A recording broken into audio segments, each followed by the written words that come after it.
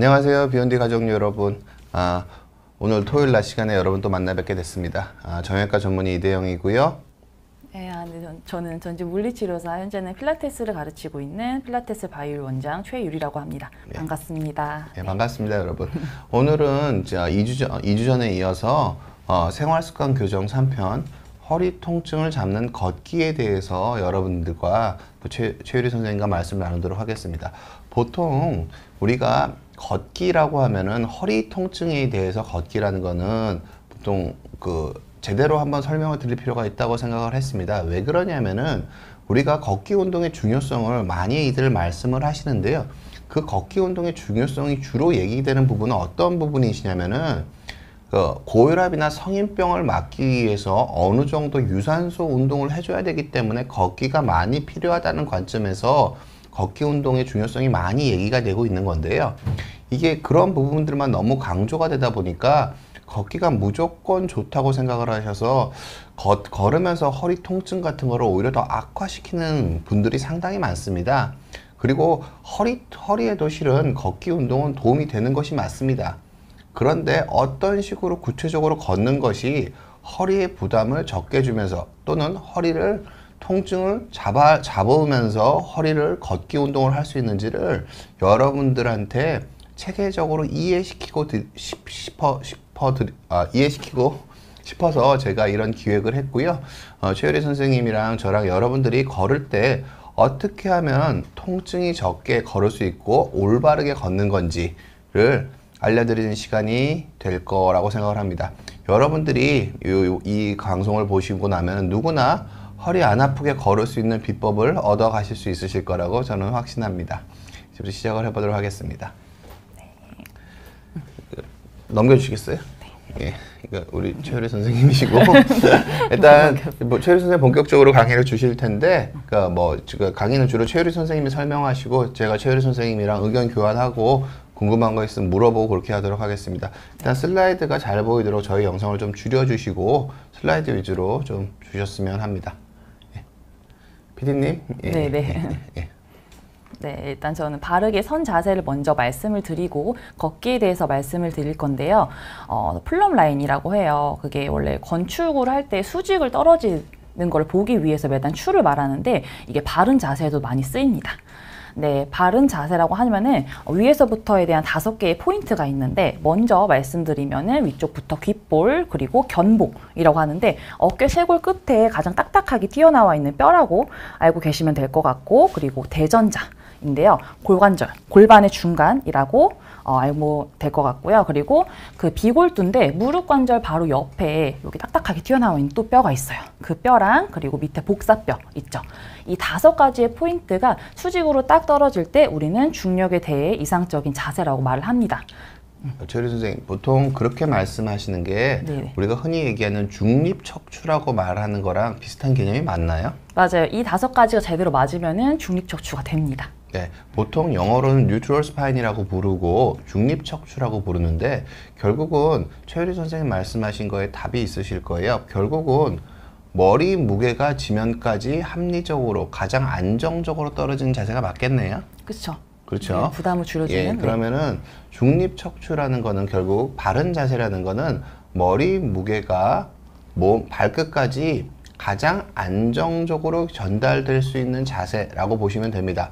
어, 최리 선생님께서 그 다음 추가 설명을 하시겠지만 이게 제1원칙입니다. 이게 되려면은 어떻게 되는 게 효과적일까를 사람들이 생각을 해서 여러 가지 자세를 제시하는 거지 원칙은 머리의 무게가 가장 안정적으로 지면에 떨어지는 자세 그게 바른 자세고요. 그게 중립 척추 뉴트럴 스파인을 의미하는 거라고 보시면 됩니다. 네. 다음에 옆에서 본 자세 말고 앞에서 본 바른 자세도 있는데요. 어, 앞에서 본 바라, 그 바른 자세는 배꼽을 기준으로 수직선을 그었을 때 미간이랑 옆으로 데칼코마니처럼 딱 떨어지는 자세를 말해요. 근데 이게 여러분들이 좀 생활을 많이 하시다 보면 완벽하게 딱 떨어지는 분들이 많이 없고 한쪽 손을 많이 사용하든지 아니면 한쪽으로 가방을 많이 메고 그리고 짝다리를 짚으면 이 포인트가 많이 털어집니다. 그래서 저희는 앞에서 바라봤을 때 귓볼의 높이나 그리고 어깨 높이 그리고 손 길이가 다르지 않은지 그걸 꼭 체크를 하셔서 바르게 대칭적으로 맞아 들어가려고 노력을 하셔야 됩니다. 자, 이 부분에서 제가 의학적으로 좀 주의사항을 말씀을 드리면은요. 환자분들이 그런 얘기를 많이 하세요. 내가 아픈 이유가 골반이 틀어져서 어깨가 틀어져서 뭐가 잘못돼서 자세 때문이 아니냐 그런 질문들을 실제로 많이 받는데요. 보통 그거는 메인 주된 원인은 아닙니다. 무슨 뜻이냐면은 20대, 30대 환자분들도 엑스레이를 찍어보면 척추뼈가 어긋나 있거나 밀려 있거나 퇴행성으로 변해 있는 경우가 너무너무 많고요. 특히 목, 경우, 목 같은 경우에는 젊은 나이에도 목 관절 자체가 다 망가져서 주저앉아, 주저앉아 있는 사람들이 많은데 획일적으로 똑같은 자세를 유지하라고 하는 것 자체는 그 사람 허리에 또 다른 부담을 줍니다. 특히 측만증 있으신 것 같은 분들은 그 어떤 재활이나 어떤 보조기를 해도 측만증은 펴지지 않습니다. 지금 무슨 뜻이냐면 그분은 어느 정도 휘어 있는 상태에서 자기 몸의 체중을 가장 효과적으로 떨어뜨릴 수 있는 방, 밸런스를 찾으셔야 되는데 이거를 그런 것들에 대한 고려가 없이 획일적으로 바른 자세를 만들려고 하는 거는 가능하지도 않고 오히려 더 큰 문제를 만들 수 있습니다. 배가님도 마찬가지입니다. 대충 봐도 비대칭인 게 골성 구조에 이미 변화가 있어서 비대칭이 되신 거면 그걸 억지로 저- 대칭을 만드시려고 하면은 다른 문제를 만들 수가 있습니다. 따라서 이거 자체를 획일적으로, 그러니까 표준적으로 올바른 자세가 확률적으로 이게 뉴트럴 스파인이고 이게 좋은 자세인 거가 있다는 건 분명합니다. 하지만 그 상태가 개개인의 환자들한테 적용될 수 있는 건 아닙니다. 기계적으로 대칭을 만들려고 하거나 기계적인 중립을 만들려고 하는 것은 또 다른 문제를 일으킬 수가 있기 때문에 이런 부분들에 대한 오해 없이 우리 유리 선생님 설명을 들어주셨으면 합니다. 네네. 자, 볼게요. 일단은 저희가 봤을 때 딱 봐도 그 틀어졌다고 많이 했잖아요. 근데 우리가 앞을 보고 계속 생활을 하다 보니까 목은 계속 앞으로 나간 경우가 많습니다. 그래서 계속 턱 당기기 운동 많이 들어보셨죠? 그래서 거북목이라고 한국인들은 많이 말씀하는데 거북목이나 그리고 일자목, 역시자도 많이 들어보셨을 거예요. 그래서 그거를 교정하기 위해서 우리는 턱 당기기 운동을 해야 하는데 이거를 잘못하고 계신 분들이 정말 많기 때문에 말씀을 드리는 거예요. 턱 당길 때 그 그냥 턱을 당기는 경우가 있어요.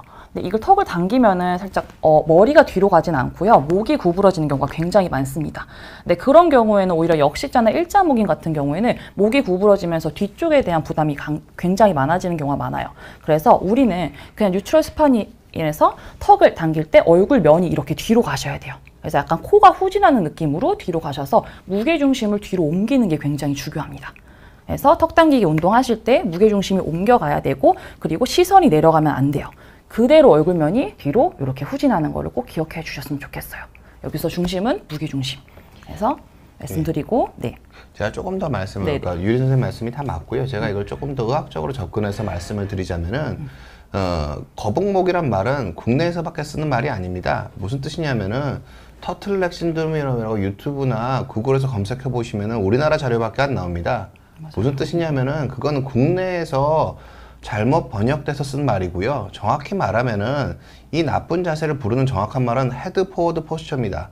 여러분들이 유튜브 상에서 어, 목 운동에 대해서 국내 자료 말고 바른 자세에 대해서 올바른 자세, 그 자, 좀 더 폭넓은 자료를 얻고 싶으시면은 유튜브 창에서 head forward posture라고 검색해 보시면 어마어마하게 많은 자세가 나옵니다. 근데 turtle neck syndrome이라고 영어로 치면 하나도 안 나오고요. 한글로 거북목 증후군, 거북목이라고 치면은 우리나라 자료만 나옵니다. 지금 무슨 뜻이냐면은 원칙적으로는 head forward posture란 말이 더 맞습니다. 왜 제가 이 말씀을 왜 드리냐면은요. 머리가 앞으로 나온 것만 교정을 하면 되지 목의 커브를 바꾸려고 하는 행동은 되게 위험하기 때문입니다. 무슨 뜻이냐면은 목 자체에 퇴행성 변화가 많아서 척추뼈가 이미 주저앉고 변성이 와 있는데 그거를 C자 커브를 억지로 만들려고 하면은 추간공을 더 좁혀가지고 더 문제를 많이 만들 수가 있기 때문에 머리 앞 자세를 교정하는 게 중요한 거고요. 첫 번째는 그거고요. 두 번째로는 우리가 목을 움직인다고 생각하는데 턱 관절이 상당히 많이 움직이래 턱 관절의 보상을 빼고 머리가 뒤로 가야 되는 겁니다. 그 유리 선생님이 머리 코가 뒤로 가야 된다는 거는 무슨 말씀을 하신 거냐면은 턱 관절의 움직임의 보상을 빼고 머리 전체가 뒤로 가야 돼 목이 뒤로 가야 된다는 말씀을 그렇게 표현하신 거예요. 실질적으로 이거를 실행하려면은 예 맞습니다 head forward posture가 맞습니다. 맞아요. 네. 실질적으로 이걸 시행하려면은 뒤통수가 올라가는 느낌이 같이 나야 됩니다. 그래야지 추간공이 안 좁아집니다. 무슨 뜻이냐면은 요새 신전 운동들이 뭐 유행을 하고 있어서 무작정 그냥 신전을 해버리는데 턱을 움직이는 건 신전이 아닙니다. 턱 운동이고요. 목 자체가 머리가 자체가 뒤로 가는 게 원칙적으로 제대로 된 디스크의 압력을 줄이는 자세입니다. 턱을 뒤로 올리 턱만 뒤로 이렇게 돌리면 디스크 압력 더 커질 수 있습니다. 턱이 아니라 기본적으로는 머리가 전체적으로 뒤로 가는 겁니다. 유리 선생님은 코라고 표현하셨고 저는 뒤통수가 올라간 느낌이 나면서 턱이 들어가야 된다고 생각합니다. 생각 말씀을 드리는 거고요. 바른 자세가 중요한 거라고 말씀을 드리고 실질적으로는 head forward posture를 교정하는 것 자체가 어, 서양의학에서 말하는 올바른 자세에 가까운 거라고 이해하시면 됩니다. 단순히 턱을 넣는 게 아니라 머리가 턱을 제외한 머리 전체가 뒤로 가야 됩니다. head forward posture. 목을 교정하는 게 아니라 머리가 뒤로 가는 게 실은 바른 자세라고 이해하셔야 됩니다. 예. 네, 맞아요. 머리가 하는 거고. 음. round shoulder 교정이에요. 이거는 목이랑 같이 봐주시면 될 것 같아요. 아까 머리를 뒤로 당길 때 등이 말린 상태에서 머리를 당기면 소용이 없어요. 무게중심이 앞으로 가 있기 때문에 그래서 목이랑 같이 봐주시면 되고 앞에 본 남자분은 등이랑 허리랑 같이 말려 있죠. 그런 경우에는 오히려 가슴을 앞으로 내밀면은 허리만 뒤로 빠진 상태에서 그대로 오리 엉덩이 상태에서 무게중심이 나갈 가능성이 높아요. 그래서 저는 어떻게 티칭을 하라면은 이 명치 쪽을 위로 끌어올리라고 합니다. 무게중심을 세운 상태에서 명치 쪽을 끌어올린 상태에서 가슴을 살짝 열고 편하게 그 다음에 아까 머리가 뒤로 가는 포지션을 해주시면 은 위에 대한 무게가 정말 줄어들고 거기 상체는 좀 끝났다고 봐주시면 돼요. 그래서 그렇게 한번 해주시면 옆에서 봤을 때 내 어깨랑 귀랑 같은 선상에 있는 거를 볼 수가 있을 거예요. 그래서 항상 가슴을 너무 열지 말고 그냥 무게 중심을 세울 때 명치 쪽, 닫힌 쪽을 열어서 가슴을 열고 그 다음에 머리를 뒤로 와주시면 돼요. 이게 포인트예요. 아, 유리 선생님 참 좋은 말씀 해주셨는데요. 목이랑 흉추는 같이 있습니다. 팔이랑. 무슨 뜻이냐면은 머리랑 어깨, 라, shoulder의 자세는 그러니까 round shoulder랑 그 흔히 환자분들이 쓰는 말씀은 head forward 분들 제가 잘 이해하시도록 round shoulder랑 거북목은 다른 게 아닙니다. 즉 head forward posture를 교정하려면은 round shoulder가 교정이 돼야 됩니다. 왜 그러냐면은 흉추는 그 자체로 필 수가 없기 때문에 등뼈는 견갑골을 이용해서 펴야 됩니다. 흉추가 펴지지 않으면은 등 구부정하기 때문에 우리가 목 턱을 들어가지고 앞쪽을 봐야 되기 때문에 흉추가 펴지지 않으면 기본적으로 목의 head pos head forward posture를 교정하는 건 불가능합니다. 따라서 round shoulder를 교정하려면은 round shoulder의 교정, 즉 흉추를 피는 행동이 있어야지 가슴을 피는 행동이 있어야지 목이 제 위치를 찾을 수 있습니다. 그래서 가슴을 제외하고 가슴에 대한 자세를 신경을 쓰지 않고 목의 자세만 교정하려고 하는 그 어떤 노력도 성공할 수가 없는 겁니다.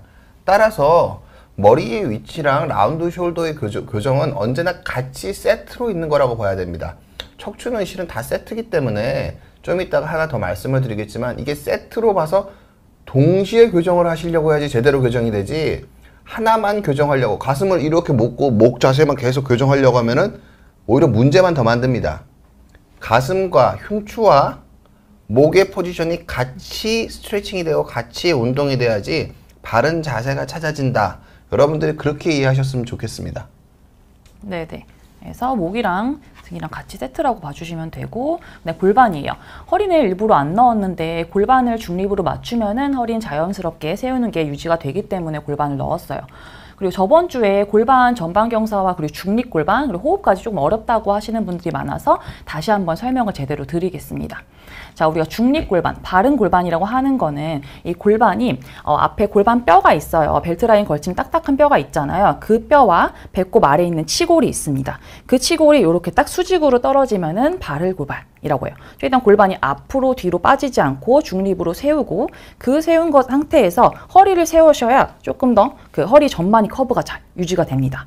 근데 세 번째, 두 번째 포지션 보면은 전방으로 이렇게 빠져 있죠. 골반뼈가 치골에 대해서 더 앞으로 빠져 있으면은 오리 엉덩이 체형이 되겠죠. 그러면은 배가 늘어나고 허리에 대한 부담, 부담이 커질 수가 있고 그리고 후방경사 골반이 이렇게 뒤로 말려 있죠. 그러면은 엉덩이가 내려갑니다. 그래서 우리는 전방이랑 후방을 다 의식적으로 할 수가 있어야 되고 그거에 대한 중간 중립 골반을 찾아서 바른 골반에서 허리를 세우는 걸 연습을 하셔야 돼요. 그래서 또 포인트가 골반뼈랑 치골이 삼각형을 만들었을 때 내가 이렇게 수직으로 떨어지는지 아니면 이렇게 말려 있지 않은지 아니면 앞으로 이렇게 빠져서 공부를 하고 있지 않은지를 꼭 체크를 해 주셔야 됩니다. 예, 네. 골반이 중요한 일도 동일합니다. 결국은 척추는 하나입니다. 허리가 나쁜데 목이 제대로 될 수가 없고요. 목이 나쁜데 허리가 제대로 될 수가 없습니다. 따라서 이 골반의 위치가 전경사 보통 오리궁뎅이라고 많이 표현을 하는데 그런 식으로 전경사가 되어 있으면은 오래 앉아 있다면 누구나 골반 전경사가 커질 수밖에 없거든요. 근데 이 전경사를 자기가 의식적으로 조절하지 못하면은요. 기본적으로는 엉덩이가 뒤로 나와 있기 때문에 허리를 필 수가 없습니다. 등을 필 수가 없습니다. 머리가 head 머리가 앞으로 나온 head forward posture가 교정이 될 수가 없습니다. 무슨 뜻이냐면은 이 세 개는 하나의 세트입니다. 가슴을 펴고 턱을 집어넣고 골반을 똑바로 하고 이것 세 개를 한꺼번에 같이 하셔야지 전체적인 교정이 일어나는 거지 하나씩 따로 떼서 하시는 거는 전체적인 생활 습관 교정에 큰 의미가 없습니다. 그래서 여러분들한테 자꾸 힘들지 말게 세 개를 한꺼번에 말씀을 드리는 거고 이걸 고치려고 하실 때 세 개를 한꺼번에 고- 고치셔야 되고 그러려 그럴 때 제일 중요한 게 가장 좋은 운동이 제가 걷기라고 제안을 드리는 겁니다. 걸으면서 골반 자세, 목 자세, 등 자세를 한꺼번에 왜냐하면은 걷기가 그게 가장 교정, 교정되기가 쉬운 운동이에요. 왜냐하면 무게 중심이 흔들려야 되기 때문에 우리가 달리기 할 때 목 내밀고 달리기 하는 사람은 없습니다. 걸을 때 라운드 숄더로 걷는 사람 별로 없습니다. 즉 걷는 행위 자체가 기본적으로 자세를 바르게 할 가능성이 큽니다. 걸을 때 오리궁뎅이로 걷기 어렵습니다. 즉 걷기 운동을 하면서 이 세 개의 자세를 자기가 의식적으로 조금씩만 잡아주면은 평소에 그냥 선 자세에서 잡으려고 하는 것보다 훨씬 더 바른 자세에 쉽게 도달할 수가 있습니다. 제가 그래서 제가 허리보호 프로그램을 처음에 제안 드릴 때 걷기를 먼저 바르게 선 자세보다 걷기, 배에 힘주기, 그 다음에 걷기를 먼저 말씀드린 이유가 걷는 게 바른 자세를 잡기가 훨씬 더 유리합니다. 아까 제가 말씀드린 그런 이유예요. 예. 네네. 그래서 골- 중립 골반을 찾고, 그러니까 아까 말씀드린 거 세트라고 보시면 될 것 같아요. 중립 골반, 그 다음에 허리 세우고, 아까 round shoulder 교정하는 거 했죠. 그 다음에 목. 그래서 이러면 상체가 끝난 거예요. 그러니까 골반만 찾지 말고, 골반 위에, 그 다음에 round shoulder 세우고, 턱까지, 그 머리까지 당기는 거를 꼭 같이 해주셔야 됩니다. 음. 자, 이제 호흡법이에요. 호흡법은 좀 간단하게 말씀을 드리고 이따 한 번 더 보여드릴게요. 그 걸을 때의 호흡법은 저는 hollowing 호흡법을 많이 씁니다. 저번 시간에 말씀드린 hollowing bracing 배에 힘주는 법을 한번 했는데 hollowing은 다시 말씀을 드리자면 속근육, 내 수- 안에 있는 속근육을 써가지고 척추를 안정화시키는 거라고 했고 그리고 bracing은 겉에 큰 근육까지 같이 써서 딱딱하게 몸통을 안정화시키는 거라고 했어요. 근데 hollowing 호흡법이 속근육을 쓰기 때문에 척추의 움직임이 더 좋아요. 그래서 지금 무게를 드는 게 아니기 때문에 저는 선자세랑 걸을 때는 이 할로잉, 배꼽을 쭉 등 쪽으로 당기는 호흡법을 많이 합니다. 그래서 아까 중립척추 만드는 거 배웠잖아요. 그거를 한 다음에 그 다음에 중립척추를 만들 때는 배에 어느 정도 힘이 들어가요. 그리고 그 힘을 들어가는 걸 유지를 하시면서 숨을 들이마시고 내쉴 때 배꼽을 쭉 오목하게 당겨주시면 돼요. 그래서 배에 어느 정도 긴장이 들어간 상태에서 배꼽을 쭉 당기는 게 포인트입니다. 이게 hollowing을 쉽게 말씀드리는 거예요. 또 설명하시고 계신가요? 네. 호흡법에 대해서는 제가 보통 제가 말 두 가지 종류가 있습니다. 그러니까 호흡가 크게 봐서는 hollowing method, 그러니까 배를 안으로 오목하게 만들어서 숨 쉬는 방법, 그리고 bracing method, 배 겉쪽을 단단하게 만들어서 숨을 쉬는 방법 두 가지 방법이 있는데요.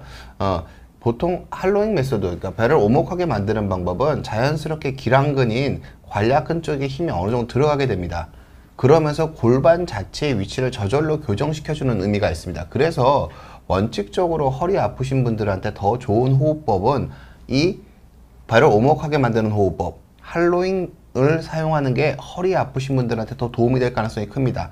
제가 다음번에 최유리 선생님과 뭐 물건 드는 걸 얘기를 할 텐데 할 텐데 상체에 힘을 많이 주는 행동을 할 때는 브레이싱 방법이 훨씬 효과적입니다. 왜냐하면은 팔에 힘을 줘야 되기 때문에 복근 겉쪽에 있는 힘이 강해야지 몸의 중심을 잘 잡을 수가 있습니다. 척추의 위쪽에 힘이 더 많이 들어가기 때문에 bracing으로 겉쪽을 힘을 줘야지 팔의 힘이 척추에 잘 분산이 되는 거고요. 걸을 때는 기본적으로 하체에만 힘이 들어가기 때문에 조금 더 아래쪽 속에 있는 근육 bracing 그러니까 hollowing 오목하게 만드는 쪽에 그 힘을 주시고 이렇게 힘을 주게 되면 자연스럽게 괄약근 쪽에 어느 정도 힘이 들어가게 되고 허벅지 근육과 자연스럽게 연결되는 coordination 그 협응력을 기르는 데 상당히 도움이 되는 자세입니다. 그래서 척추에서 협응력을 기르고 싶다면은 hollowing method, 그러니까 오목하게 만드시면서 걸으시는 거를 저는 강하게 추천드리고 이 모든 오늘 강의 중에서 제일 중요한 건 여전히 호흡법입니다. 배에 힘주기. 이 hollowing이 되면은 전경사가 어느 정도 잡히게 되고요. 전경사가 골반의 전경사가 어느 정도 잡히게 되면은 round shoulder도 줄어들게 되고 뭐 따라서 목의 위치도 조금 더 head forward pose 조금 더 조절 조, 조율이 되게 됩니다. 그래서 이게 한꺼번에 연관돼 있다. 이 네 가지, 세 가지 위치와 한 가지 호흡법이 다 연관되어 있다라고 이해를 하시는 게 좋습니다. 환자분들이 실질적으로 운동하거나 할 때 이게 다 따로따로 떨어진 거라고 생각하기 때문에 맨날 제바, 제자리를 도시는 거고요. 걸으면서 이걸 하, 걸으면서 이걸 느끼셔서 하나로 연결돼 있는 거라는 걸 느끼신 다음에 개별적인 강화를 하시는 게 여러분 허리 통증을 잡고 여러분이 건강하게 생활하시는데 전 도움이 될 가능성이 크다고 생각하고 있습니다. 네, 네. 저도 그거에 동의를 하고요. 일단 중립 척추를 만드는 것 자체도 속근육의 힘을 필요를 하는 그 동작이거든요. 중립 척추를 다고 그리고 할로잉은 일단은 척추의 움직임에 좋아요. 그러니까 전체적으로 그 딱 힘을 줘가지고 보호하는 게 아니기 때문에 근데 걸을 때 어느 정도 골반과 척추에 대한 회전이 동반하는 걷기가 좋기 때문에 저는 hollowing을 추천을 드리는 겁니다. 자, 음. 바른 다리의 정렬이에요. 자, 이거는 그 스쿼트 할 때나 뭐 플랭크 할 때 발에 대한 넓이에 따라서 엉덩이나 복부에 힘이 들어가는 게 정말 달라져요. 그래서 한번 넣었는데 걸을 때의 발에 대한 다리의 정렬은 발 넓이는 우리는 골반 넓이로는 많이 안 하고요. 좌골 넓이를 많이 써요. 그게 뭐냐면은 여자는 한 주먹 하나 반 정도 들어가고 남자는 주먹 두 개 정도 돌아갑니다. 그래서 너무 넓게 벌렸을 때는 오리 걸음처럼 팔자가 되고요. 그리고 너무 좁게 걸었을 때는 그러니까 모델 워킹처럼 무릎이 많이 가까워진 상태에서 걷게 됩니다. 그래서 원래의 정상은 한 주먹 하나 반, 두 개 정도 해주시면 되고 그리고 서 있을 때 무릎뼈 있죠. 무릎뼈와 두 번째 발가락이 수직으로 떨어지는 게 원래는 맞는 자세입니다. 엄지로 잘못 알고 계시는 분들이 많아요. 그래서 무릎뼈는 이 관절을 덮고 있는 앞에 슬개골 있죠. 그 뚜껑이라고 보면 되고요. 그 뚜껑과 무릎뼈가 아니, 두 번째 발가락 이 이렇게 일직선으로 떨어지면은 맞는 자세예요. 그래서 살짝 한 5도 정도 돌아가 있습니다. 발은 너무 이렇게 일자는 아니에요. 그리고 발을 보시면은 너무 많이 돌아가 있을 때는 어, 앞에 첫 번째 사진 보이면은 가쪽, 가쪽은 많이 찝히고 안쪽에 대한 그 부담이 더해지고 그리고 두 번째가 정상이고 그리고 너무 돌아가 있을 때는 발목 가쪽에 대한 부담이 더 있어서 발목을 자주 삐겠죠. 그래서 어, 그 원칙적으로 구조적으로 너무 변형이 많이 오신 상태에서는 너무 이렇게 교정을 하려고 억지로 힘을 쓰지 않으셔도 되지만 어느 정도 발이 돌아간 걸 잘 모르시는 분들이 있어요. 그래서 항상 두 번째 발가락이랑 무릎뼈는 이렇게 정렬을 맞춰주려고 하시고 나이가 드셨을 때는 조금 케이스가 다르기 때문에 이거는 그거 말씀드리겠습니다. 이따가 또 하실 말씀 있나요? 네.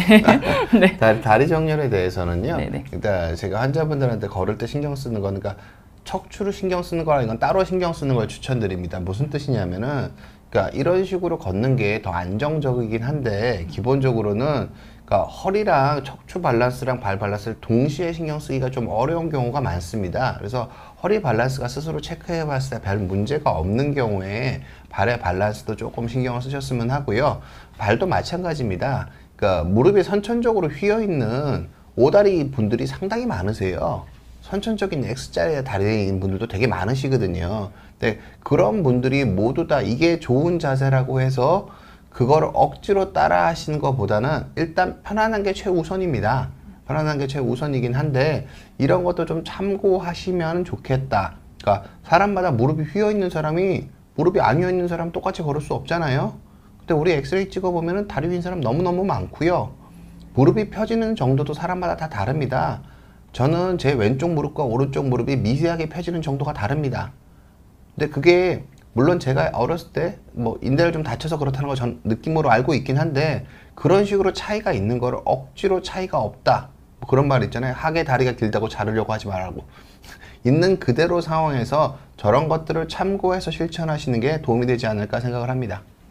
예. 네네. 그래서 저도 척추를 먼저 놓고 발을 마지막에 넣었고요. 일단은 척추가 중요하고 허리 환자한테는 중립 척추가 중요하다는 거를 꼭 알고 계셨으면 좋겠고, 자, 바르게 걷기예요. 일단 아까 바르게 선 자세와 그리고 중립 척추를 만들었어요. 그 다음에 걸어야 되는데 이게 정상적인 보행 사이클이 있어요. 그래서 정상적인 거를 일단은 먼저 말씀을 드리자면 뒤꿈치 닿는 게 중요해요.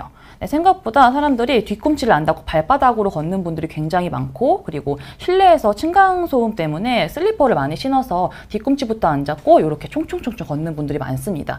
근데 그게 생각보다 발에 대한 내재근 그리고 아치를 살려주는 거에서 되게 방해를 많이 시키기 때문에 뒤꿈치부터 닿고 그리고 그다음 발바닥 그리고 반대쪽 다리 떨어지겠죠. 그다음에 발끝을 발 뒤꿈치가 떨어지면은 발끝이 닿고 발끝을 뗍니다 이제. 그래서 꼭 웨이브 하는 것처럼 파도 타기처럼 뒤꿈치 발바닥 이렇게 떼는 게 원래는 정상이에요. 그래서 뒤꿈치부터 많이 안 닿고 계시는 분들을 좀 의식적으로 썼으면 좋겠고 통증이 있으면은 그 굳이 그렇게 안 하셔도 되고요. 그리고 앞에 보면은 발 사진이 있죠. 발에 대한 그림을 보면은 이 빨간색 선은 발바닥이 정상적으로 걸었을 때에 대한 압력이에요.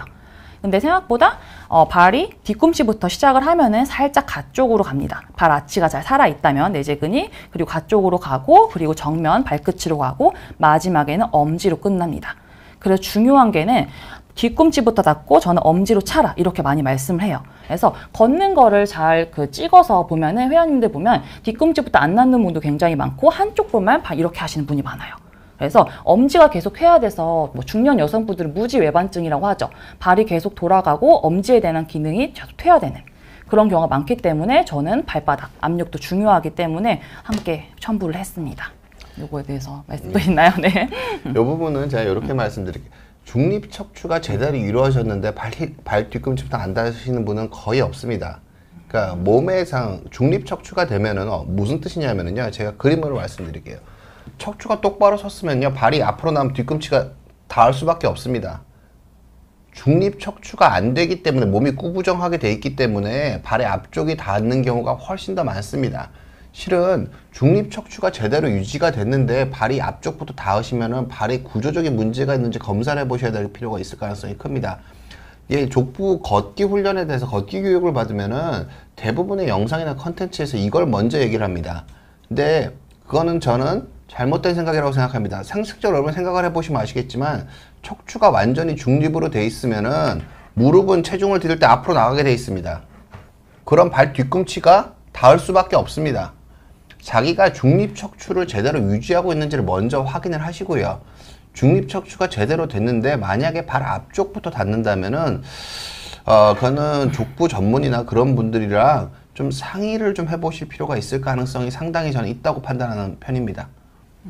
네. 근데 저도 족부 전문의도 좋지만 발에 대해서 구조적이나 아니면은 그 근육에 대한 타이트함 때문에 그런 경우도 있다고 생각해요. 그래서 그거에 대해 습관이 너무 많이 든 경우, 그래서 그런 경우에는 이따가 종아리 스트레칭이나 발에 대해서 그 안정적으로 가동성이 나올 수 있는 거를 일단 말씀을 한번 드리겠습니다. 제가 좀 과하게 얘기하게 됐나요? 네. 유리 선생님 말씀이 맞습니다. 죄송해요. 자, 이제 바른 자세와 복복이에요.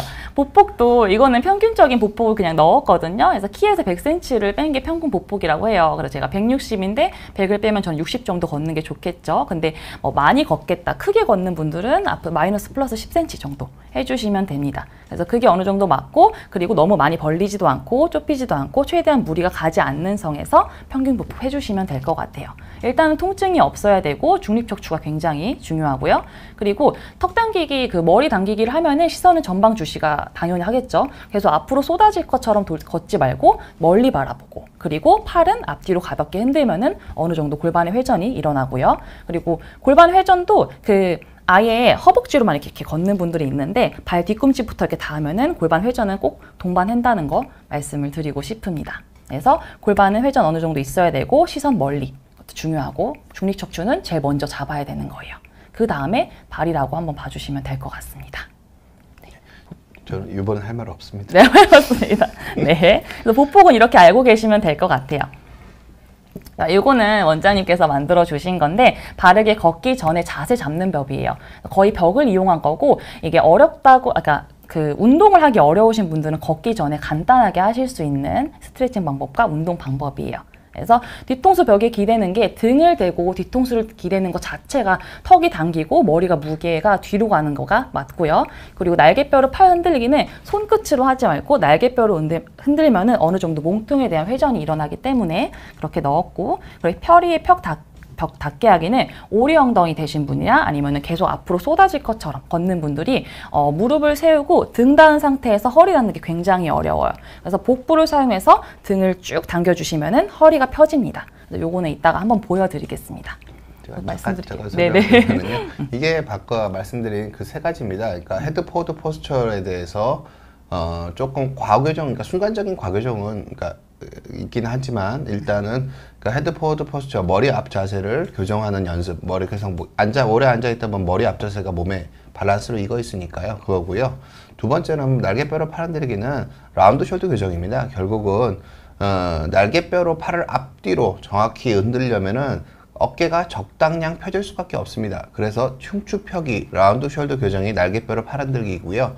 그리고 골반 전경사 교정이 그 저기 그림에서 왼쪽 그림을 보면 허리뼈가 떠 있는 게 저게 오리궁둥이 상태고요. 저렇게 빈 공간을 없애서 밀착을 시키게 되면은 어, 골반 전경사를 잡을 수 있게 됩니다. 이런 식으로 몇 번 가볍게 스트레칭을 해주고 나면은 우리가 오랫동안 앉아 있거나 꾸부정한 자세에서 몸에 배어 있던 그 밸런스가 조금 개선이 되면서 쉽게 비교적 잘 짧은 시간 내에 아주 간단한 스트레칭으로 몸을 피고 바르게 걷기 좀 유리한 환- 환경을 만들 수 있습니다. 환자분들이 목도 하고 등도 피고 거- 라운드 숄더도 교정하고 골반도 교정하고 걸으려면은 되게 많은 노력이 필요하다고 생각을 하시잖아요. 그렇지 않습니다. 이거 다 하는데 1분 정도만 합니다. 1분 30초 정도면 한 두세 번만 해도 몸의 느낌이 달라진 느낌이 바로 납니다. 그래서 제가 이렇게 하고 걸으시라는 거를 환자분들한테 제가 옛날에 추천드렸던 겁니다. 어, 밴드가 저기 있네요. 어떡하지? 자, 밴드 턱 당기기 운동은 이따가 좀 보여드리기 어려울 것 같은데 이게 머리를 다, 그 당길 때 무게 중심을 당길 때 저항을 써가지고 뒷목 같이 써가지고 뒤통수가 길어지는 느낌으로 당기는 운동이에요. 그래서 턱 당기기를 하고 그게 계속 목이 앞으로 나가는 것 같다 하면은 근육을 써가지고 밴드를 이용한 운동을 할 수가 있고 그리고 수건으로 또 할 수가 있습니다. 그래서 요것도 같이 넣었고요. 그리고 요거는 어, 이따 보여드릴 수 있을 것 같아요. 벽을 이용한 arm slide 인- 운동인데 아까 원장님이 하신 것처럼 똑같아요. 등이랑 허리를 붙이고 조금 더 상위 동작인데 팔을 만세하는 게 굉장히 어렵습니다. 근데 팔을 만세한 상태에서 팔꿈치를 천천히 구부리면서 어깨를 피면서 내려가면 은 견갑골 밑에 쪽에도 힘이 들어가요. 그래서 round shoulder 교정이 굉장히 좋기 때문에 요거도 한번 보여드리겠습니다. 그리고 요거는 아까 발목 스트레칭 운동. 뒤꿈치가 닿기 어려우신 분들은 일단 이거를 먼저 해보시고 그리고 그거 다음에 통증이 있다면 은 그때 한번 전문의를 말- 만나보시는 걸 추천을 드리고 요거는 뒤꿈치를 어, 발을 이렇게 뒤꿈치 닿기 위해서 발끝을 당기기 위한 운동이에요. 근데 일단 종아리 근육이 놔주지가 않으면 뒤꿈치 닿기가 잘 안 돼요. 그래서 뒤쪽을 먼저 스트레칭을 하고 걷는 거를 추천을 드립니다. 이렇게 보셔주시면 될 것 같아요. 네. 일단 저그 밴드는 네. 그 실장님 제가 질문 좀 답하고 밴드를 가지고 아, 네, 네, 그럴까요? 네. 제가 질문 잘 밴드. 답하고 있을게요. 네. 밴드를 잠깐 두고 질문- 오셔가지고요. 네네 질문 답하고 계십니다. 예. 네네. 김현희님 요즘 50대 중반이 되시니 발목이 약해져서 그런지 걷기가 두려워지네요. 발목 보호대를 하고 걷는 방법도 괜찮은 방법이신지요? 아 제가 재활을 할 때 두 가지 원, 두 가지 원칙이 있습니다. 첫 번째 아무것도 안 하는 것보다 무조건 뭔가를 하는 게 좋습니다. 그래서 안 하는 건 언제나 답이 아니니까 꼭 필요하시다면 발목 보호대를 하고 걷는 것도 괜찮은 방법입니다. 근데 요새는 굳이 보호대 말고도 테이핑이라든지 아니면 좀 발목이 높은 신발이라든지 여러 가지 방법이 있으니까 너무 강한 보조기를 하지 마- 않으시고 약한 보조기를 하고 걸으시는 것들은 권장할 만합니다. 기억하셔야 됩니다. 아무것도 안 하는 것보다는 하는 게 좋고요. 1원칙. 2원칙은 해서 아프면 하면 안 됩니다. 근데 이게 1번 원칙이랑 2번 원칙이 있는데 이게 상위는 1번 원칙입니다. 아무것도 안 하는 것보다는 하는 게 좋고요. 2번 원칙은 해서 아픈 건 하면 안 됩니다. 요거를 자꾸 헷갈려가지고 문제를 많이들 일으키시는데요. 1번 원칙이 더 상이라는 것만 기억하시면 될 것 같고요. 네, 잘될 운명님. 저는 요추 2번, 3번, 3번, 4번, 4번, 5번에 중간 정도 튀어나와 있고 간격이 좁고 디스크가 검다고 합니다. 뼈 상태도 안 좋다고 합니다.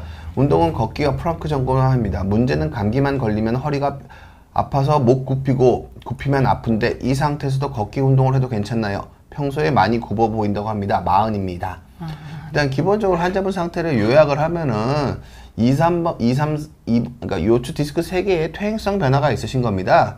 근데 이 퇴행성 변화는 기본적으로는 잘 못 느낍니다.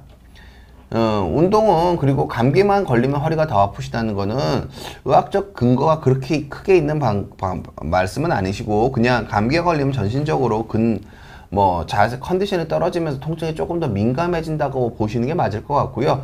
걷기 운동은 하시는 게 좋습니다. 기본적으로. 그리고 평소에 굽어 보인다고 합니다. 오늘 방송 잘 보시고 유리 선생님이 하신 대로 잘 하셔서 목등 허리 펴고 걸으셔야 되고요. 40대인데 목 계속 꾸부정하게 걸으시면 늙어서 고생하십니다. 허리 망가집니다. 자세를 바른 자세를 만드는 거에 구체적인 노력을 하셔야 되고 오늘 방송 보고 안 되시면 가까운 뭐 운- 그 필라테스 학원이든 아니면은 뭐 요가원이든 뭐 병원의 도수치료센터든 어디든 가서 평소에 걷는 자세를 바르게 만드시고 걸으시는 게 환자분 건강을 위한 올바른 투자라고 저는 생각을 합니다.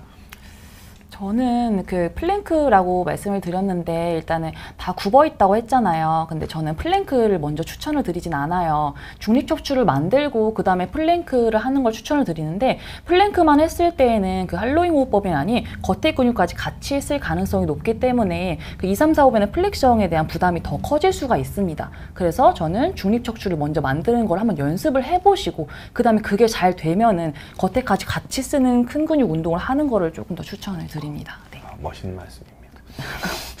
요정님, 저도 걸을 때 발목이 자꾸 불안해서 자꾸 밖으로 삐끗삐끗해요. 운동이 교정으로 가능할까요? 기본적으로 이건 족관절 불안정성이라고 부르는 병입니다. 기본적으로 이 빈도가 중요합니다. 아, 보통 이 자꾸 발목이 자꾸 자꾸 삐끗삐끗 하시면 MRI 찍어보면 배- 보통 인대는 파열되어 있습니다. 근데 파열되어 있다고 꼭 수술하는 건 아니고요. 이 삐는 빈도가 중요합니다. 삐는 비- 그러니까 기본적으로는 그러니까 몇 가지 요소가 있는데요. 어, 운동으로 교정이니까 정도에 따라 다른데요. 일단 첫 번째, 발목을 자꾸 안 삐게 하셔야 됩니다. 삐끗삐끗한 느낌이 자꾸 나면 연골을 갉아먹을 가능성이 생기시게 되고 연골은 한번 갉아먹히게 되면 비가역적 변화입니다. 삐끗삐끗하지 않게 생활하시는 게 1번이고요. 그게 잘 유지가 안 되면 재활이든 수술이든 뭔가 하시는 게 현명하실 가능성이 큽니다. 무조건적으로 운동이 교정이 되는 건 아니고요. 근데 발목은 인대가 거의 없어도요. 생활 습관으로 삐지 않게 조절하고 지내실 수 있습니다. 그거는 명심하셨으면 합니다. 삐지 삐끗삐끗하지 않게 하셔야지 자꾸 삐끗삐끗하게 관리하시는 건 문제입니다. 저는 일단 발목이 불안정한 거는 일단 밸런스에 대한 문제도 있을 거라고 봐요. 네, 밸런스에 대해서 어느 정도 교정이 된 상태에서도 계속 삐끗삐끗하면은 그때 전문의를 만나보시는 것도 추천을 드리고요.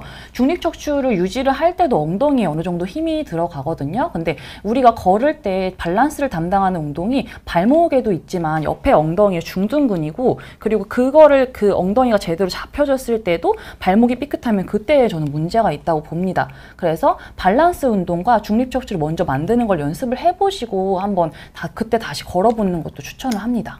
유리 선생님 훨씬 친절하게 느껴지네요. 저는. 아니, 제가 저도 말을 좀 부드럽게 해야 되는데 일단은 좀 말씀드리면 골 어떤 분들은 뼈 자체 형태가 잘 삐릴 수 있는 형태도 있는 게 맞아요. 있으시니까요. 네, 네. 빈도가 중요합니다. 빈도가 중요하고 안 삐게 관리하셔야 됩니다. 예. 아그네스님, 저는 척추에 두번 척추에 척추 수술 두 번에 쇠까지 박았고 협착증 수술 한 번 했는데요. 신경 주입술 여덟 번 했는데요. 무릎 밑으로 너무 아파서 걷기도 힘들고 중심도 잘 잡지 못해요. 병변은 척수염이라고 하네요. 어, 협착증수 신경 주입술 8번 무릎 밑으로 일단 현재 그러니까 수술을 한 번 한 다음에 주사 치료를 8번 정도 하셨으면은 추가적으로 구조적인 문제가 손볼 게 있는지 확인을 하셔야 됩니다. 병변은 척수염 그러니까 척추염, 척수염, 강직성 척수염. 보통 일반적으로 척수염이란 표현은 정확한 표현이 아니어서 척수증, 척추증 여러 가지가 있는데요. 어, 일단은 환자분니까 척수염이라는 게 MRI상 신경 자체에 그 시그널이 변한 거라면은 그거는 뭐 근데 그런 경우여도 통증이 그렇게 심하지 않습니다. 그러니까 여러분들이 하나 착각하고 계신 게 뭐냐면은요. 신경은 잘리면은 일정 시간 지나면은 신경이 망가지면 감각이 없어집니다. 계속 아프지 않습니다. 계속 아픈 뭔가 다른 원인이 있을 거라고 생각을 해야 되는 거고요. 환자분은 구조적 원인에 대해서 진단을 어, 받아보시는 걸 추천해요. 주사를 8번 맞는 와중에서 최근에 MRI라든가 정밀한 검사를 해보신 적이 없으시다면 재평가가 필요합니다. 주사를 8번이나 맞는 행동은 감각신경 자체를 좀 왜곡시킬 수가 있습니다. 그러니까 마비가 오는데 못 느끼시면서 버티시는 분들은 대부분 주사를 너무 많이 맞으시는 분들 중에 그런 분들이 꽤 있거든요.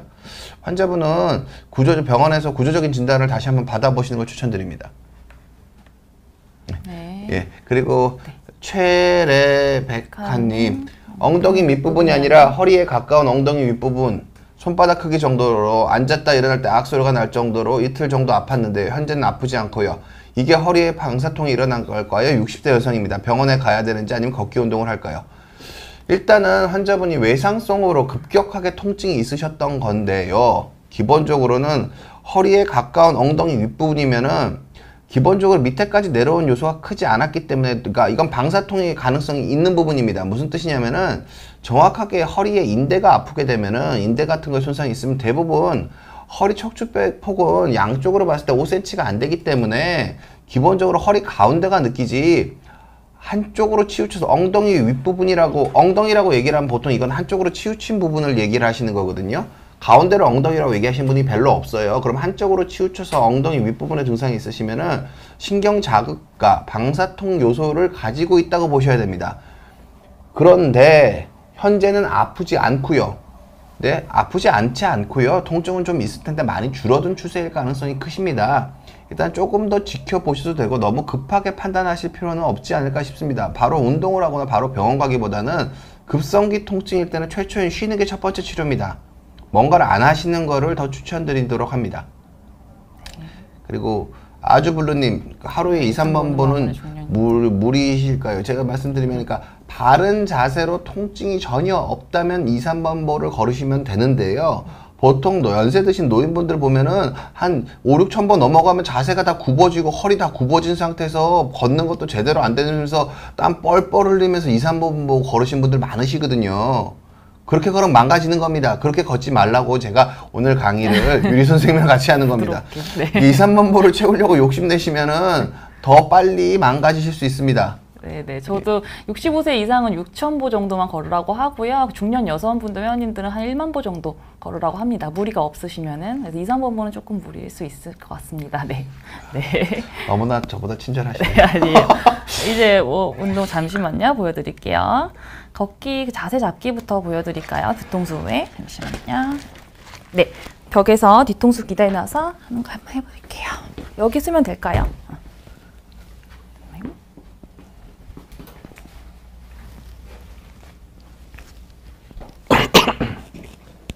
여기서 이렇게 써야겠다. 이렇게 써야겠다.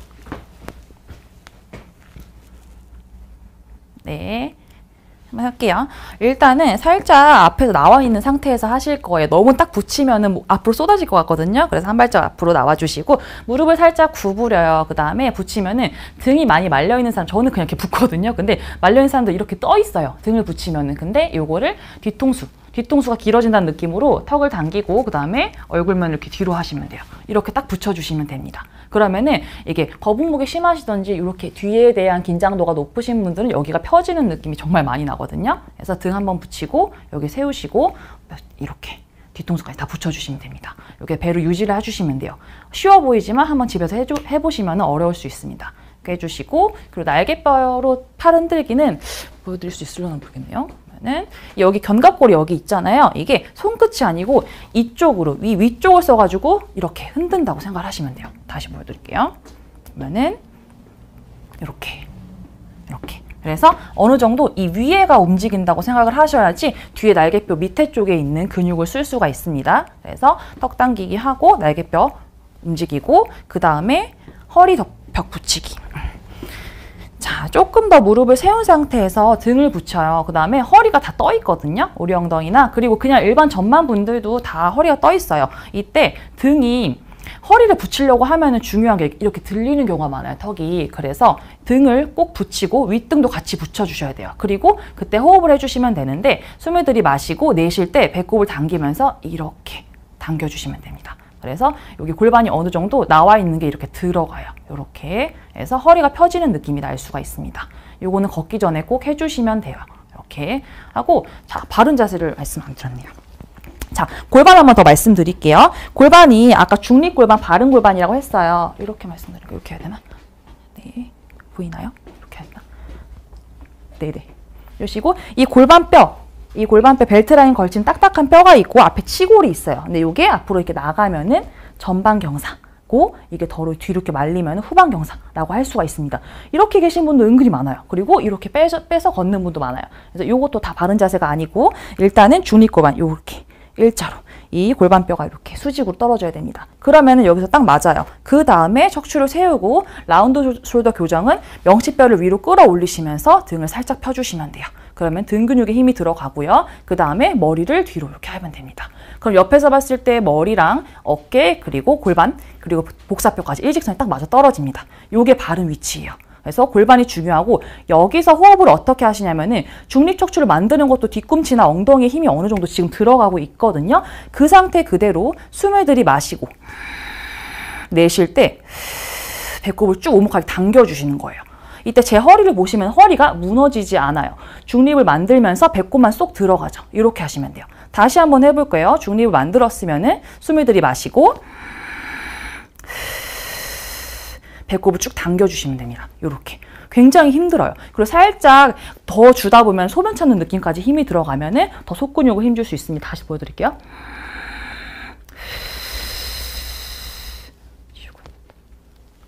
볼게요.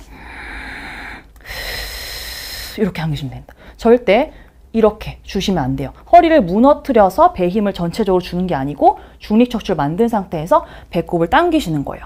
굉장히 힘들어요. 자, 그 상태 그대로 걸어주시면 되는데 뒤꿈 좌골넓이 주먹 하나 반 정도 들어가게 서주시고 중립골반 앞에 멀리 바라본 상태에서 뒤꿈치부터 닿게 해주시면 돼요. 뒤꿈치 닿고 그 다음 발바닥 닿고 그 다음에 뒤꿈치 듭니다. 이렇게 멀리 바라본 상태에서 하나, 둘, 셋, 넷, 다섯. 다시 해볼게요. 멀리 바라보고 날개뼈로 흔들면서 네 이렇게 무게 중심이 앞으로 쏠리지 않게끔 편하게 걸으시면 됩니다. 그래서 그래서 많은 분들이 빨리 걸으려고 엉덩이가 빠지면서 이렇게 이렇게 걷는 분이 많거든요. 이렇게 음, 이렇게 걸으시면 안 되고 천천히 배꼽 유지하시고 당겨주시면서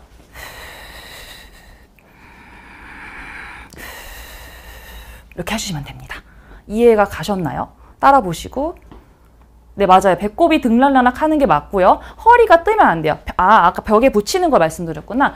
등을 붙이고 뒤통수를 붙일 때 허리가 뜨면 안 돼요. 이렇게 이렇게 굉장히 힘들어요. 요거 할 때도 그 활로잉 호흡 하시면 돼요. 마시고 잘 봐요. 내쉴 때 당기면 돼요. 당길 때 이렇게 나오지 않게끔 여기가 나오기가 쉬워요. 이렇게 당기시면 되니까 다 붙여야 돼요. 굉장히 힘들어요. 이렇게 따라해 주시면 됩니다. 쉬고 네. 또 이해 안 다시는 부분이 있으신가요? 한번 따라해 보시면 절망감이 많이 느껴지실 거예요. 네, 벽에 선생님, 붙이는 거 굉장히 힘들어요. 네, 네, 저는 등이 잘 붙거든요. 맨날 연습을 하니까. 근데 등이 많이 말리고 목이 앞으로 나가신 분들은 정말 힘듭니다. 네, 절망감을 많이 느끼실 거예요. 따라해 네, 보시면. 그리고 턱 당기기 운동 한번 보여드릴게요. 자. 일단 밴드, 수건도 괜찮아요. 그리고 스타킹도 괜찮습니다. 그래서 이거를 뒤통수 면에 댈 거예요. 넓게 펴가지고 뒤통수에 면에 해주시고 팔을 그냥 앞으로 수평으로 팔꿈치를 구부려서 어느 정도 그냥 어깨를 내리고 긴장도를 유지하시고 있어야 돼요. 이때 등이 이렇게 말려가지고 무너진 자세가 아니에요. 골반은 중립, 딱 세워 중립 척추를 유지한 상태에서 이 상태 그대로 유지하시면서 이거는 팔은 계속 힘을 주고 있고요. 뒤통수 면이 뒤로 가는 거예요. 생각보다 많이 안 움직이죠? 이렇게 좀 과도하게 보여드리자면 이렇게 된 거를 이렇게 되는 거예요.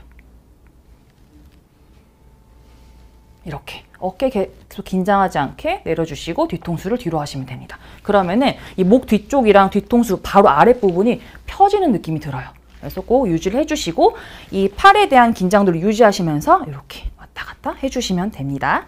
아, 그리고 이제 발목 한번 해드릴게요. 발목 스트레칭 굉장히 쉬워요. 다 벽을 이용한 거라서 걷기 전에 다 따라해 주시면 괜찮을 것 같아요.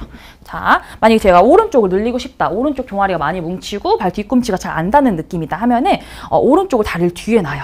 그 다음에 왼쪽 발을 한 발짝 앞으로 해주시고 벽을 잡습니다. 잡고 중요한 게 무릎이 다 펴져 있어야 돼요. 무릎이 다 펴져 있고 뒤꿈치가 무조건 바닥에 꾹 붙어 있어야 돼요. 그 다음에 허리가 말리지 않고 골반을 내밀 건데 몸이 전체적으로 앞으로 이렇게 가는 게 아니고 팔을 밀면서 골반을 이렇게 내밀면 돼요. 이렇게. 이렇게. 그러면은 뒤통수도 여기가 쫙 당겨요. 다시 마시고 시 이렇게 하시면 됩니다. 벽을 밀면서 골반이 앞으로 가고 뒤꿈치가 떨어지는 분들이 굉장히 많고 아니면 무릎이 구부러져요. 여기가 타이트하다면은 그래서 쉬고 반대쪽도 이렇게 바꿔가지고 척추 세운 상태에서 골반을 앞으로 이렇게 내밀면 돼요. 이렇게. 그러면은 이쪽부터 쭉 당기는 걸 느끼실 수 있습니다. 이걸 한번 해보시고 뒤꿈치 닿는 걸 다시 연습을 해보세요. 이때도 통증이 있던지 발목이 굉장히 불안정하다면은 그때 전문의와 상담을 하시는 걸 추천을 드립니다. 요즘 월 슬라이드 안 하셨죠? 아, 월 슬라이드 할게요. 아, 네. 자, 이제 암 슬라이드 보여드릴게요. 아까 턱 당기기 이 밴드로 하는 거랑 그리고 등 펴는 거에 대한 조금 더 상위 운동이에요. 그래서 내가 만약에 등이랑 허리 닿는 게 잘 된다 연습을 했으면은 이제 근육을 조금 더 써서 하는 건데 자 이거 닿는 게 됐어요. 그다음에 등이 됐어요. 그 다음에 만세를 하실 거예요. 여기서 만세하는 굉장히 힘들어요. 이렇게 만세를 하는 거예요. 이 만세를 할 때 거의 이렇게 허리가 여기에 대한 공간이 생기면서 등이 떠는, 뜨는 경우가 굉장히 많아요. 그래서 붙이려고 노력해 주시면서 만세를 해요. 만세했어요. 그 다음에 팔꿈치를 구부리면서 암 슬라이드를 하실 건데 팔꿈치를 구부려서 이렇게 그럼 날개뼈 안쪽에 힘이 들어가고 등이 계속 계속 펴져요. 이때도 손끝도 안 닿는 분들이 굉장히 많아요. 남자분들은. 그래서 손을 이렇게 터치를 하는데 중요한 게 손을 터치를 안 해도 되니까 팔꿈치 면이랑 같이 있어야 돼요. 이렇게 뜨시면 안 돼요. 이렇게 뜨시면 오히려 이 어깨 앞쪽에 대한 관절에 대한 부담은 굉장히 커지거든요. 그래서 손 안 안 닿아도 되니까 항상 팔꿈치 면이랑 같은 라인에 그다음에 해주시면 돼요. 계속 허리랑 등을 붙이고 있는 거예요. 다시 마시면서 만세. 내쉴 때 한번 해보시면 굉장히 힘들어요.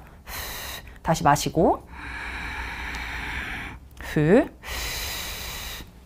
이렇게 이거 저도 힘들거든요. 이렇게 해주시면 돼요. 그래서 등 어깨가 많이 말리던지 아니면 이게 잘 된다 싶으면은 이 상위 동작으로 해주시면은 조금 더 등 근육과 라운드 숄더를 교정을 하는데 굉장히 좋을 수가 있습니다. 해보셨으면 좋겠어요.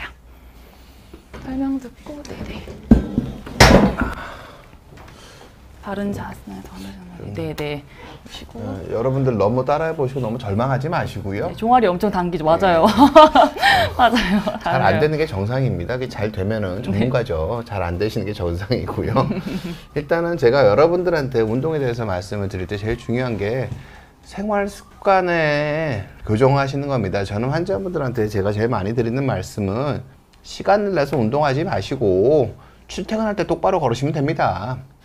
우리 출퇴근할 때 아무리 적게 걸어도 10분에서 15분씩 걷잖아요. 출퇴근 시간에 우리 유리 선생님이 오늘 보여주신 것처럼 걸으려고 노력을 하시는 게 진정한 운동이고 진정한 재활이지. 그거를 안 하면서 뭐 시간을 내서 어떤 동작이나 뭔가를 하겠다. 아, 원장님이 힘을 보여줘야 돼. 제가 하시면 여러분 눈 눈이 눈 여러분 눈을 보호 안구를 보호하기 위해서 제가 안 하는 겁니다. 그러니까 여러분들한테 말씀을 저는 그러니까 보통 어 주말에 산책을 할 때 제가 말씀드렸던 걸 다 하고 걷습니다. 제가 말씀하는 거다 걷고요. 저는 걸으면서 비교적 천천히 걷지만 아랫배에 힘이 들어가면서 어, 어느 정도 그 걷는 게 제대로 되면요. 아주 천천히 들어가도 허벅다리까지 힘이 들어가는 게 같이 느껴집니다. 근데 보통 일반적으로 자세가 바르지 않으면 허벅지 앞쪽에 힘 안 들어가거든요. 천천히 걷는데 허벅다리 앞에 힘이 들어가게 걷습니다. 결국 그게 무슨 뜻이냐면 그게 진정한 의미의 협응력, 코어 근육들이 같이 움직이는 느낌이라는 거를 저는 느낍니다. 기본적으로는.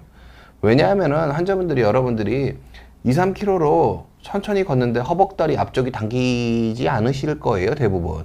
근데 이걸 자세를 바로 하고 할로잉을 제대로 하고 관략근 쪽에 힘을 주고 걸으면 허벅다리가 당기는 느낌이 납니다. 이런 것들이 실질적인 의미의 재활이고 건강을 지키는 생, 건강한 생활 습관이지 제가 운동을 하지 말라는 뜻이 아니라 언제나 생활 습관의 기준을 두고 운동을 하시는 게 여러분들이 더 건강해질 수 있는 방법이라고 저는 생각을 하고 있습니다. 유리 선생님 제 말이 맞죠? 네네 맞습니다. 네. 척추 디스크 신격파 해보시면 예. 지로 다 답변해 주시죠. 예. 아, 네네. 아, 네, 여기까지. 유리쌤 마지막 동작이요. 허리에 엉덩이와 허리를 다 닿게 하는. 네, 마지막 동작 암 슬라이드 말씀하시는 거죠. 네, 허리를 닿게 하려고 계속 노력을 해주셔야 됩니다. 왜냐면은 팔을 드는 순간 보상 작용으로 허리랑 드는 게 젖혀져요. 그래서 그 힘을 유지하시면서 아까 팔 만세하는 것도 힘들다고 했잖아요. 그게 허리를 닿게 하셔야지 어느 정도 그 허리 보상 작용 없이 등 근육만 쓸 수 있기 때문에 만세를 하는 거예요. 그래서 꼭 계속 붙이려고 노력해 주시고 만세 안 해도 괜찮아요. 일단 붙이는 것부터 먼저 선행이 된 상태에서 그 다음에 만세를 해서 등 근육 쓰는 거를 추천을 드립니다. 그러니까 방금 유리 선생님 말씀하신 건데, 그러니까 이건 지금 오늘 말씀드리는 운동의 테마들은 중립 척추를 유지하는 거를 하는데요. 그걸 잘 유지할 수 있게 여기서 태스크를 가하는 겁니다. 이런저런 자극을 가했을 때도 그걸 잘 유지할 수 있는 능력이 되면은 스스로 보호할 수 있는 힘이 있다고 믿는 겁니다. 결국은 바른 자세에 대한 느낌이 첫 번째고요. 그거를 잘 유지가 되는 상태에서 그게 1단계 조금 더 강한 힘을 줬을 때도 그걸 잘 유지할 수 있는지 2단계 좀 더 강한 힘을 줬을 때 그걸 잘 유지할 수 있는지 유리 선생님이 보여드린 거는 그런 거라고 보시면 됩니다. 최초에 제가 말씀드린 거는 그걸 그걸 찾아가기 아주 가벼운 스트레칭이었고 유리 선생님 마지막에 그 벽에 대고 슬라이드 하는 것들은 어, 상당히 어려운 태스크에 속합니다. 결국은 맞아요. 어려워요. 네, 그 태스크를 수행, 그 태스크를 하면서도 유리 선생님처럼 자세가 잘 유지가 될 수 있으면 이제 그런 분들은 이런저런 스포츠를 해도 허리를 안 다치는 겁니다. 그렇죠. 맞아요. 그렇게 해석을 하셔야 됩니다. 그러니까 운동이라는 걸 그렇게 단계적으로 그렇게 받아들이셔야지 그냥 내가 참고 만보를 걸을 수 있다고 문제가 해결되는 게 아니에요. 만보를 진짜 유리 선생님처럼 만보를 걸을 수 있으시면 만보를 걸으셔도 돼요. 2만 보를 걸으셔도 되고 3만 보를 걸으셔도 되는데 그게 실은 되게 힘듭니다. 되게 힘듭니다. 그게 되게 힘듭니다. 그래서 그렇게 말씀을 그렇게 이해를 해주셨으면 되고 제가 질문을 좀 더 답을 시간이 있으면 네네. 드릴까 하는데요. 천영롱님 저는 척추 디스크에 문제가 없는데 근육통으로 의사 선생님께 충격파 치료 한번 해보자고 해서 9회까지 왔는데 회복이 되지 않습니다. 어떻게 치료해야 될까요? 주사 치료 한번 했는데 에, 그다지 좋아지는 느낌이 없습니다. 기본적으로는 어, 저희 파트에 그 저희 방송에서 질문해 주신 거면은 디스크 상의 문제는 아니지만 척추의 문제는 있다라고 보시는 게 맞을 것 같고요. 그걸 단순히 근육통이라고 치부하기는 좀 어려울 겁니다. 약물 치료와 일정식 근육통은 그 특징상 근육 자체에 아주 특이한 그, 그 유마티스성 질환을 제외한 건 근육통은 바- 바로 회복되는 걸 그 증상의 정의에 포함을 시킵니다. 따라서 환자분은 진단 자체 척추 디스크에는 문제가 없고 근육통만으로 아프다는 것 자체가 전제가 조금 의심스럽기 때문에 제가 뭐라고 말씀드리기가 좀 어려울 것 같고요. 어, 진단이나 그런 거에 대해서 의사 선생님이랑 치료하신 선생님이랑 조금 더 상의를 하시고 상의를 해보시는 게 맞지 않을까 저는 생각을 합니다. 샤샤샤님 그리고 만보 걷기 후 발목 복숭아뼈 안쪽 통증이 오는 건 발목 스트레칭을 네, 어떻게 해야 할까요? 저는 복- 복숭아뼈가 가쪽 말고 안쪽인 거죠. 그런 경우에는 복숭아뼈 안쪽으로 지나가는 근육들이 굉장히 많아요. 근데 그런 근육들이 발을 이렇게 하는 근육, 이건 안쪽으로 뒤집는 근육이에요. 그 예상을 해보자면 안쪽으로 뒤집는 근육에 대한 문제가 있기 때문에 그쪽으로 통증이 올 가능성이 높아요. 그래서 걸을 때는 이렇게 걸을 가능성이 높아요. 음, 제 생각에는 그래서 저는 발을 자- 아까 스트레칭 할 때 있죠. 일자로 하지 말고 살짝 가쪽으로 해가지고 발목 스트레칭 한번 해보세요.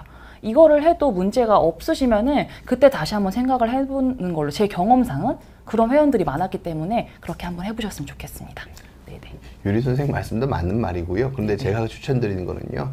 만보 걸어서 아프면 7천보 걸어봐서 안 만보 아프면은. 아, 네네. 7천보만 걸으시는 게 더 낫습니다. 기본적으로는. 네네. 걷는 걸 일단 먼저 줄이는 것도 괜찮겠네요. 네. 7천보 벌어서 괜찮으면은 그렇게 7천보를 걸으시는 게 더 안전한 방법입니다. 꼭 만보를 어쩔 수 없이 내가 일이나 직업상 만보를 걷지 않으면 안 되는 상황이시면은 유리 선생님처럼 대처하시는 것도 괜찮은데 그런 상황이 아니시면은 7천보 걸으시는 게더 안전하신 방법일 것 같고요. 이혜린님 앉아 있을 때도 잘 앉는 방법이 있나요? 아, 이거 보여드려야 되나요? 그 저번 시간에 말씀드린 중립 척추 있죠. 그게 똑같아요. 골반 중립이 앉아있을 때도 정확하게 그게 맞아야 돼야 되는데, 이 골반 뼈와 안쪽, 아, 보여드리겠다. 잠깐만요. 빨리 보여드릴게요. 차차차차차. 이렇게 있으면은 중립 골반이 있다고 했죠. 잠깐 여기서. 잠시만요. 잠시만요. 아, 네네. 예. 비, 보- 보여주실 거고요. 제가 잠깐 다른 분 질문 하나 답할게요. 네네. 바비 엔젤 서울대 준비 중님. 어, 의사 선생님, 제가 방송 지각을 해서 놓쳤네요. 제가 배에 힘을 주어서 걷기를 못해서 허리 엑스레이를 찍었더니 휘었대요. 도와주세요. 일단 서울대를 준비하시는 분이시면 아주 젊으신 분일 가능성이 큽니다. 뭐 만학도 분일 수도 있겠지만 젊으신 분이 허리가 휘었다면은 그거 자체는 두 가지입니다. 선천적 측만증, 측만증이 있으실 가능성이 제일 크고요. 두 번째는 통증에 대한 반응으로 휜 거일 가능성이 있습니다. 이 두 가지 다 크게 신경 쓰지 않으셔도 될 만한 문제일 가능성이 큽니다. 왜냐하면 약간 휜 거는 측만 선천적 측만증은 그대로 사는 거지 그걸 억지로 피려고 하실 필요가 없고요. 통증 때문에 휜 거라면 일시적인 변화의 가능성이 크기 때문에 너무 마음 쓰지 않으셔도 되지 않을까라 조심스럽게 저는 생각합니다. 이혜리님이 말씀하신 앉는 자세를 우리 유리 선생님께서 보여주실 겁니다. 네네. 됐나요? 아, 이렇게 보여드릴게요. 중립골반을 아까 똑같이 이렇게 앞 전만도 아니고 후반도 아니고 그 중간을 찾아서 세워주시고 이것도 사실 제 의자도 여기에 붙어야 되는데 발바닥이 뜬 상태에서 이렇게 붙이는 건 사실 전 추천을 드리진 않아요. 그래서 이게 저도 키가 별로 크지 않기 때문에 발바닥 다 붙이고 여기다 차라리 그냥 쿠션을 대주시고 발목이랑 그게 90도 된 상태에서 중립골반 그 다음에 척추 세워주시고 아까 말씀드린 명치 올려가지고 round shoulder 교정하고 이렇게 하시면 돼요. 그래서 그 공부하실 때도 최대한 좀 높여가지고 가깝게 한 상태에서 이게 많이 무너지지 않는 상태에서 이렇게 엉덩이를 빼고 하지 않게끔 이거를 유지하시면서 앞에서 아니 밑에서 하는 걸 추천을 드려요. 그래서 무게가 발을 다 닿아 있는 상태에서도 만약에 중립을 세웠을 때 뜨면은 저처럼 그 여기다 쿠션을 받치는 걸 추천을 드립니다. 꼭 등 받쳐서 이렇게 이렇게 하진 않으셨으면 좋겠어요. 발끝이 많이 뜨고 골반이 이렇게 앞으로 밀릴 가능성이 높습니다. 이렇게 하시면 돼요. 제가 지금 유리, 유리 선생님 말씀하신 게 좀 추가를 드리자면은요. 그 여러분들이 요새 뭐 파시는 파는 보조기 중에 앉았을 때 뒤에 받치는 뭐 그런 그 허리 요추 전만을 잘 유지시켜주는 쿠션 같은 거를 그 많이들 팔고 많이들 사무직들 분들 많이 구입하고 계신 걸로 알고 있는데요. 그러니까 유리 선생님 말씀이 맞습니다. 무슨 뜻이냐면은 기대서 하는 거는 원래 쉴 때만 기대는 거고 쉴 때는 그렇게 잠깐 기대는 동안 쉴 때 조금 편하게 쉴수 있는 의미가 있는데 실질적으로 일할 때는 체중을 기댈 수가 없습니다. 기댈 수가 없기 때문에 바른 자세로 앉으려, 앉아서 문제를 해결하려고 유리 선생님처럼 말씀하시는 것처럼 바르게 앉아서 문제를 해결하려고 해결하셔야지 뭔가 보조 기구나 의자를 통해서 문제를 해결하려고 하는 시, 시도는 성공할 수가 없습니다. 그 스웨덴의 장인이 맞는 비싼 의자도 결국 뒤로 기댈 때 그 값어치가 나오는 건데 그건 일하는 자세가 아니에요. 쉴 때의 자세예요. 쉴 때의 자세 가지고는 문제가 잘 생기지 않습니다. 여러분들 되게 열심히 일하시잖아요. 그러니까 비싼 의자가 별로 필요가 없습니다. 평소에 똑바로 앉으려고 해야 되는 거고 비싼 의자랑 비싼 보조기구를 사면 쉴 때 약간 편안한 느낌이 나시겠죠. 근데 그게 허리를 좋게 해주지 못합니다. 일하는 동안 허리가 아파지는 거지 쉬는 동안 기대고 있는 동안 허리가 나빠지는 게 아니에요. 잘 생각해 보셨으면 합니다. 지금 너무 공격적인가요? 네, 결국에는 일단은 근육을 쓰라는 얘기예요. 근육을 그러니까 중립척추를 만드는 것도 어느 정도 감이 있어야 되거든요. 계속해서 근육을 써야 돼요. 저도 이 중립척추를 계속 안 하는 연습을 하면은 가만히 있을 때나 뭐 서서 기다릴 때도 무너져 있거든요. 이걸 연습을 해가지고 속근육 쓰는 거를 해서 척추를 세우는 걸 계속 하셔야 돼요. 어디인가에 보조기로 계속 의존을 하실 생각은 조금 지양하고요. 어, 내 근육을 써서 이게 바른 자세로. 그래서 척추를 잡아주는 것도 어떻게 보면 근육이잖아요. 그래서 내가 써야 된다는 거를 꼭 말씀을 드리고 싶습니다. 네, 자신이. 네네. 예, 오늘 네, 뭐 오늘 시간, 말, 네, 시간 너무 조금 나갔네요. 지났고 네. 유리 선생님이랑 두 번째 시간인데 여러분들도 많이 좋아해 주시는 것 같고 다음 달에 유리 선생님이랑 다음 달에 그러니까, 그러니까 저는 그러니까 바르게 그러니까 어, 무릎으로 제가 버티기라고 제가 필수 재활에서 말씀을 드렸었지만 바르게 물 건들기랑 같은 얘기입니다. 그러니까 바르게 물 건들기라고 하고 어 바르게 허리 숙이기라고 읽겠습니다. 아무튼 바르게 물 건 드는 방법에 대해서 다, 다음 달 네 번째 주에 유리 선생님이랑 같이 여러분 찾아뵐 걸 약속드리고요.